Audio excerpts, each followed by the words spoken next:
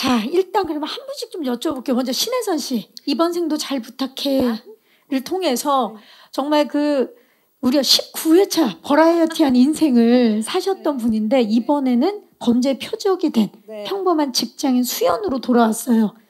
어떤 인물인지 소개 좀 해주세요. 어, 수연이는 인테리어 회사 직, 직장이 인테리어 회사에서 다니고 있고요. 어, 정말 정말 현실을 열심히 살아가고 있는 그 사회 초년생까지는 아니고 사회인이에요. 그래서 사회인으로서 요즘 뭐 모두가 다 마찬가지겠지만 어느 정도 사회생활에 대한 스트레스도 가지고 있고 또 욕심도 있고 또 당차기도 한 면도 있고 또 어쩔 땐 나약한 면도 있는데 어 그 유일하게 스트레스가 없는 일상 나의 휴식 공간에 어떤 뭐 무언가가 침범을 당하면서 어 좀 일상 생활조차도 어 좀 불편해지기 시- 불편해진 아무튼 나락으로 떨어지는? 아니지. 좀 무서워지는? 무서워지는 그런. 사건들을 예, 두려워지고. 두려워지는 그런 경험들을 하게 되는 인- 인물입니다.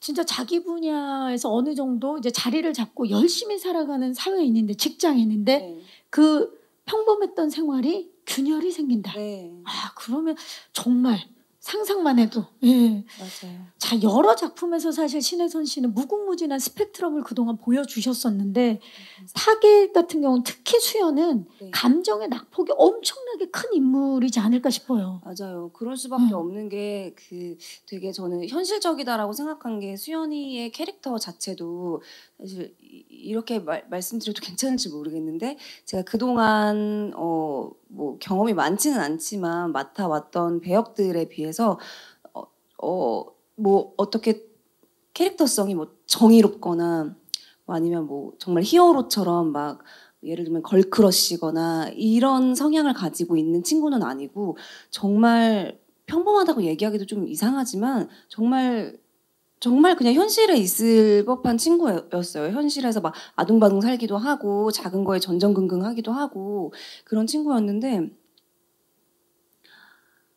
어 그랬는데 그런 친구가 일상생활을 살아가고 있다가 그 일상이 어떻게 무너져 내릴 때 그때 겪는 그 감정은 그 어떤 일을 겪는 것보다 더 낙차가 클 거라고 생각했고요. 너무 편했던 곳에서 내가 자고 일어나는 그 침대에서조차도 불편해지면 너무 무섭잖아요. 그래서 그런 낙차가 좀 크기는 했었던 것 같아요. 그렇죠. 그게 결코 그 연기하기 쉽지 않았을 텐데 뭐 인간이 갖는 감정이 다양하겠지만 특히 수연이 같은 경우는 분노, 희열, 두려움, 절망, 간절 이런 감정들을 굉장히 많이 느꼈을 것 같아요. 특히나 응원해주고 싶은 감정이 있었다고요. 수연에게 있어서. 응원해주고 싶었던 건 분노까지는 아니지만 수연이가 다시 정신을 이제 확 놨다가 다시 정신을 스스로 행동하면서 스스로 한번 좀 다시 이, 일어서려고 하는 그 때가 한번 오거든요. 그래서 그 감정은 되게 응원해주고 싶더라고요. 이렇게만 있을 수는 없었을 때 다시 한번 네. 일어나려고 했던 그 순간. 네, 근데 그게 음. 정말 무슨 어떤 히어로물이나 이런 것처럼 어떤 대단한 것은 아니었었거든요. 근데 정말 현실이라고 생각해보면 내 입장이라고 생각해보면 엄청난 용기였을 거란 말이죠. 그래서 그 용기를 낸 점을 정말 북돋아주고 싶었어요. 아, 그 용기에 응원해주고 싶은 마음. 감독님이 보실 때 우리 수연을 연기한 신혜선 씨의 감정 어땠나요? 장르 특성이 있다 보니까 그 감정의 변화를 상대 배우분들하고 동료 배우분들하고 맞춰가는 게 쉽지는 않은 거거든요. 그리고 이 촬영이 또 대본 순서대로 촬영하는 게 아니기 그렇죠. 때문에 차례차례가 아니니까. 맥락을 음. 찾아가는 게 굉장히 힘들었을 텐데 혜선 씨가 그 중심을 잘 잡아줬고 또 같이 하던 배우분들께서 또 호흡을 잘 맞춰줘서 좀 볼 때마다 감탄한 적이 있어요. 그 저희가 시작할 때 만나봤던 예고편의 마지막 엔딩 씬의 그 신혜선 씨 표정이 잊혀지지가 않아요, 정말. 어, 여러 가지 감정이 섞여 있는 그런 표정이었거든요. 자, 신혜선 씨의 수연 역할 기대를 해보면서 이번에는 대세 배우죠, 김성균 씨. 네, 대세 중에 대세. 뭐 TV 예능부터 OTT 시리즈 그리고 타겟으로 스크린까지 이제 접수하러 오셨어요. 그야말로 올여름 최고의 올라운더로 하드캐리 하시는데 끝까지 범인을 쫓는 사이버 수사대 주영사로 돌아오셨죠. 어떤 인물인가요? 네, 어, 말씀하셨듯이 사이버 수사대에서 어, 일하고 있는 사건을 하루에 한 300건씩, 몇백 건, 400, 500건씩 몰려드는 그 수사를 하면서 어, 일상적으로 그 들어오는 사건들을 수사해 나가는 어, 약간 적당한 선에서 어, 형사로서의 어, 사명감을 어, 적당한 선에서 가지고 어, 일적으로 이렇게 시간을 보내는 어, 임무를 해 나가는 형사였는데 어, 수연이라는 인물의 사건을 에, 접하게 되고 이렇게 엄중한 사항이라고 생각 못하고 단순한 그냥 어, 흔히 접수되는 그런 사건인 줄 알았는데 아 이게 생각보다 심각하다. 그런 걸 어, 느끼게 되고 어, 함께 집요하게 어, 범인을 쫓는 그런 인물입니다. 주영사 역시 변화의 폭이 굉장히 있는 그런 인물인데 예. 제가 입수한 그 소식에 의하면 예 정보에 의하면 그 우리 그 김성균 씨가 이번에 형사 역을 맡았다. 그리고 주변인들한테 나 이번에 형사다 그랬는데 아무도 믿지 않았다라는 그런 소문이 있어요. 맞습니까? 어 이게 뭐 요즘 뭐 하냐고 예. 안부를 묻잖아요. 그래서 이런 영화다 중고 거래를 통해서 거래를 하다가 어뭐 타겟이 돼. 타겟이 예. 된 거니까 저, 저를 네가 범 당연하다는 듯이 네가 범인이냐고 주변에서 묻더라고요. 그래서 범인 아니다. 뭐 반전이 있는 건 아니냐. 형사로 나오다가 나중에 범인이 너-. 알고 봤더니 범인 뭐 이런 거 아니냐고 오해들을 하시더라고요. 특히 누가 그렇게 오해를 하셨나요? 주변의 모든 분들이 주변의 모든 분들이 오해를 하셨다고 합니다. 네. 기자님들 알고 보니 범인은 김성균 이런 반전 없습니다. 확실히 없죠. 감독님 없죠. 네 없습니다. 예. 처음부터 끝까지 주영사라는 거 우리 또 우리 기자님들께서 확실하게 또 기사로 부탁드리겠습니다. 자 연기하실 때 어떤 점 가장 주안점을 두셨나요? 어 그러니까 어 아까도 말씀드린 적당한 선에서 형사 일을 하고 있는 사람인데 네 그렇잖아요. 그 대사도 나와 있어요. 우리 접수하는 사건이 하루에 몇번 몇백 건이다. 몇백. 어, 천천히 좀 기다려 달라. 이제 이런 멘트도 이제 굉장히 하면서. 일상적으로 하는 그런 인물이었는데 굉장히 정의감 넘치고 집요한 형사로 어, 바뀌게 되는 그 지점들이 있어요. 그 포인트들이 있는데 그 부분을 좀 많이 신경을 썼습니다. 이게 스포가 될 수 있어서 말씀을 못 드리는데 고 주형사의 그런 어, 정의감 있고 집요한 형사로서의 DNA가 깨어나는 그 순간들이를 좀 신경을 썼던 것 같아요. 아 DNA. DNA 예. 우와. 아니 정말 뭐 여러 가지 사정이 있겠지만 어떠한 사정으로 인해서 타성에 젖어서 지내던 우리 네네. 주영사가 어떠한 계기로 형사로서의 DNA가 깨어나는 네네. 예 변화되는 모습 기대할게요. 네. 감독님 주영사를 연기한 우리 김성균 씨와 두 번째 호흡이었는데 어떠셨나요? 음, 제가 작품으로는 두 번째고요. 어, 성균 씨를 음, 제가 두 번째 제 두 번째 영화였던 퍼펙트 게임 할 때 저하고 좀 가까웠던 감독인데 윤종빈 감독이 범죄의 전쟁을 찍고 있었어요. 근데 저희 출연 배우들이 또 그쪽에 출연하는 배우들이 많아서 쉬는 날 응원을 갔는데 마침 이제 성균 씨가 그 단발머리로 예, 동석 씨하고 마동석 씨하고 이제 뭐 이렇게 좀 티격태격하는 씬이었는데 느낌이 어, 뭐 저런 게 다 있지 뭐 약간 이런 느낌이었어요. 독특하다. 네네. 그리고 나서 제 친구가 김희 감독인데 네. 그 이웃 사람이라는 영화에 이제 주연으로 예, 하셨죠. 예. 그래서 김희 감독을 응원하러 부산을 갔는데 응원만 하러 가면 이분이 계시네요.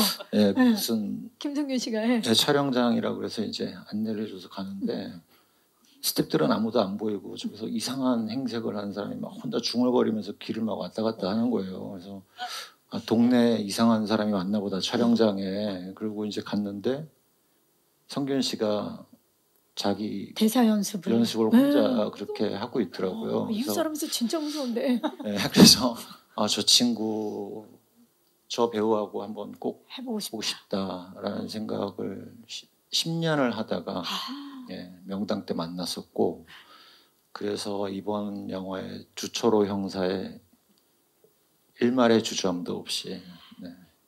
근데 처음엔 좀 성균 씨가 튕겼어요 바쁘다고 그때 또 네, 네. 스케줄상. 네. 예.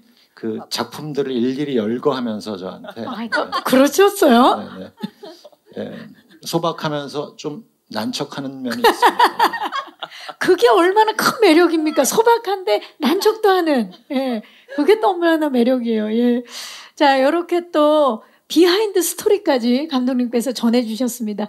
자, 이번에는 작품마다 파격적인 변신과 다채로운 캐릭터 소화력으로 정말 독보적인 존재감이라는 말이 어울리는 배우죠. 이주영 씨. 자, 이번 작품에서 현실감 넘치는 수연의 친구 달자를 연기하셨는데 달자 소개 좀 해주세요. 어, 달자는 일단 제가 생각했을 때는 T예요. T, T, T. T, T. 맞는 것 같아.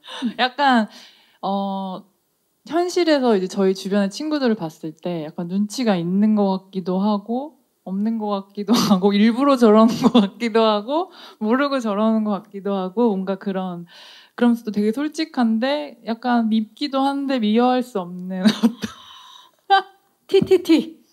그런 미묘한 그 선을 타는 연기를 했습니다.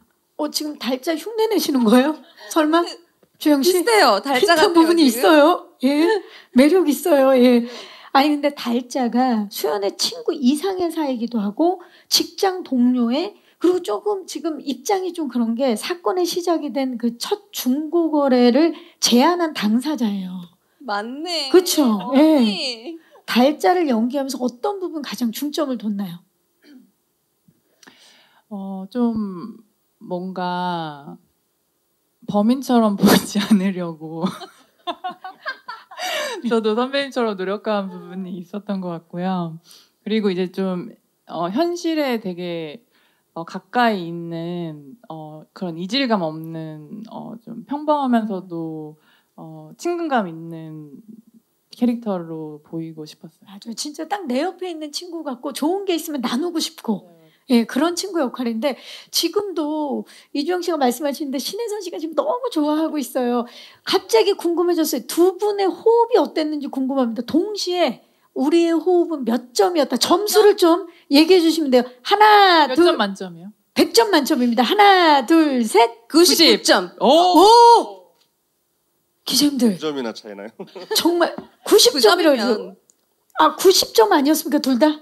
저는 99점. 99점, 90점. 거짓말. 진짜로. 어, 그 정도로. 네. 1%는 왜 뺀 거예요? 혹시 모를 어떤 그런 것 때문에 혹시 언니가 나보다 낮게 부르지 않을까라는 그런 서로 눈치 게임.